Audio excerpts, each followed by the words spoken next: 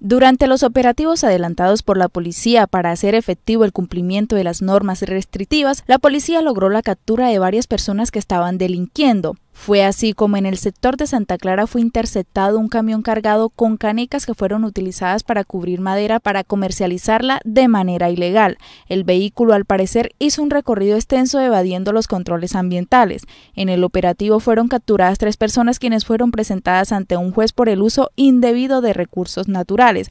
Las autoridades tratan de establecer si la madera fue talada ilegalmente. La policía también reportó la captura de una persona quien se movilizaba en una moto llevando una importante cantidad de marihuana siendo interceptado en un puesto de control.